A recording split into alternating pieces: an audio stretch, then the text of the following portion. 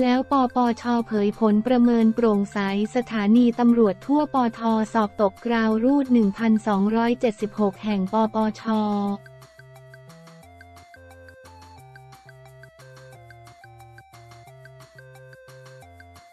เปิดผลคะแนนคุณธรรมและความโปร่งใสปี 66 พบสถานีตำรวจสอบตกกราวรูด 1,276 แห่งมีอำเภอและส่วนราชการประจำอำเภอ ไม่ผ่านเกณฑ์ 123 แห่งเมื่อวันที่ 5 กันยายน 2566 สำนักงานคณะกรรมการป้องกันและปราบปรามการทุจริตแห่งชาติปปช โดยสำนักประเมินคุณธรรมและความโปร่งใส จัดงานประกาศผลการประเมินคุณธรรมและความโปร่งใสในการดำเนินงานของหน่วยงานภาครัฐ Integrity and Transparency Assessment ITA ของหน่วยงานระดับต่ำกว่ากรม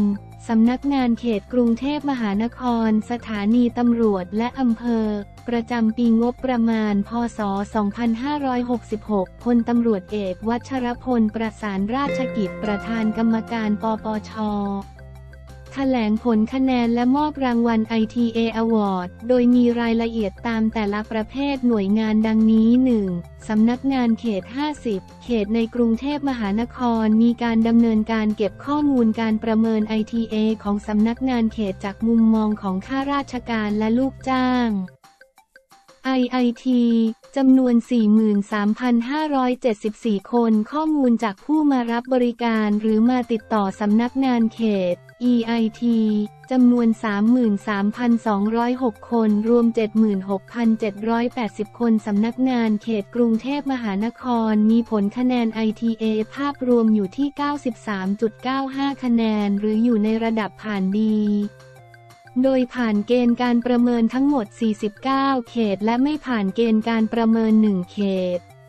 ทั้งนี้สำนักงานเขตที่ได้คะแนน ITA สูงสุด คือสำนักงานเขตภาษีเจริญได้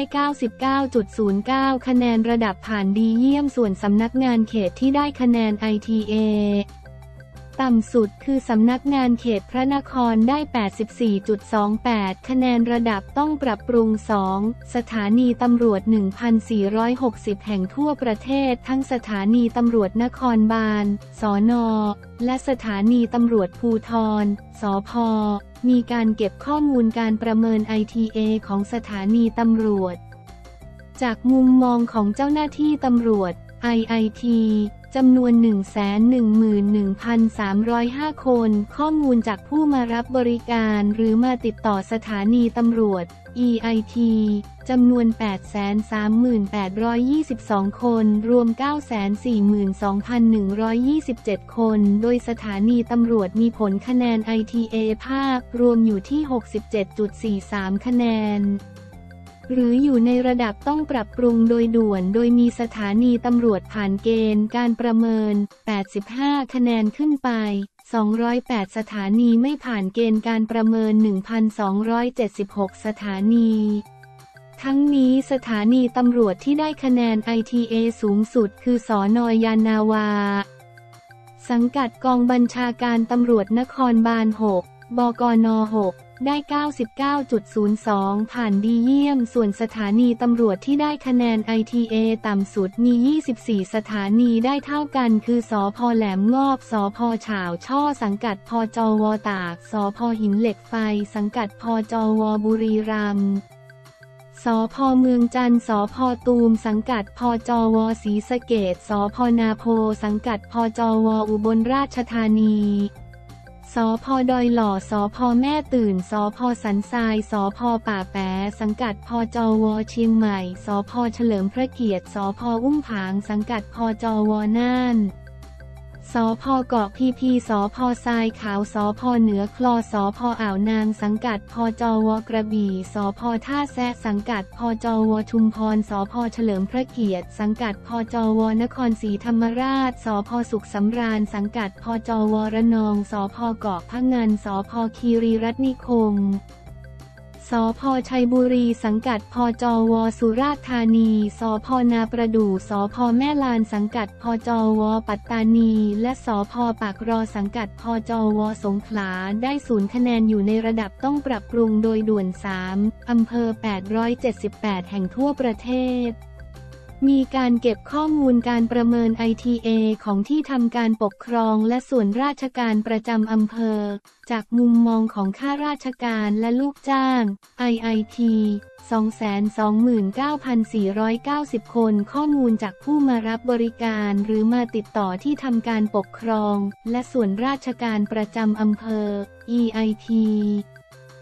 6,2,023 คน รวม 831,513 คน อำเภอมีผลคะแนน ITA ภาพรวมอยู่ที่ 91.21 คะแนน หรืออยู่ในระดับผ่านดีโดยอำเภอและส่วนราชการประจำอำเภอ ผ่านเกณฑ์การประเมิน ผ่านเกณฑ์ 85 คะแนนขึ้นไป 755 อำเภอคิดเป็นร้อยละ 85.99 และไม่ผ่านเกณฑ์การประเมิน ไม่ผ่านเกณฑ์น้อยกว่า 85 คะแนน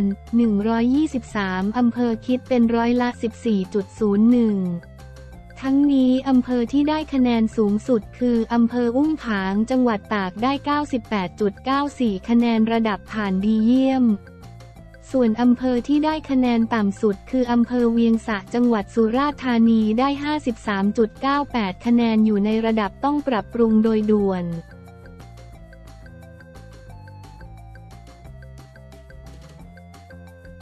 สุทินลั่นสร้างมาตรฐานใหม่พลเรือนคุมกลาโหมได้รอคุยเหล่าทัพปมจัดซื้ออาวุธสุทินลั่นพร้อมสร้างมาตรฐานใหม่พลเรือนคุมกลาโหมได้ขอเวลาหนึ่งสัปดาห์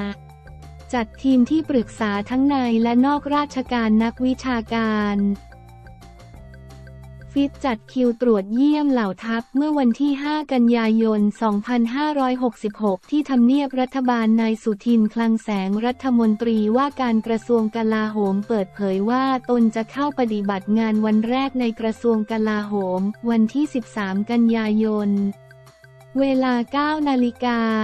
และยอมรับว่ามีทีมงานที่มาช่วยเป็นที่ปรึกษาจำนวนพอสมควรกำลังเฟ้นหาคนที่เหมาะสมทั้งทหารที่อยู่ในราชการทหารที่เกษียณและนักวิชาการทั้งนี้ขอเวลาหนึ่งสัปดาห์คาดว่าจะเรียบร้อยส่วนที่นายกรัฐมนตรี ให้แนวทางในการทำงานนั้นตนจะทำให้ดีที่สุด และพร้อมสร้างมาตรฐานว่าพลเรือนบริหารงานในกระทรวงกลาโหมได้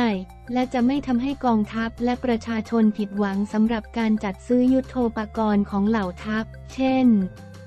การจัดซื้อเครื่องบินขับไล่ทดแทน F-35 ของกองทัพอากาศขณะนี้ตนยังไม่มีข้อมูลพอแต่คิดว่าในวันที่ตนเข้าไปทำงานทางเหล่าทัพคงมีข้อมูลมาเสนอ มาอธิบาย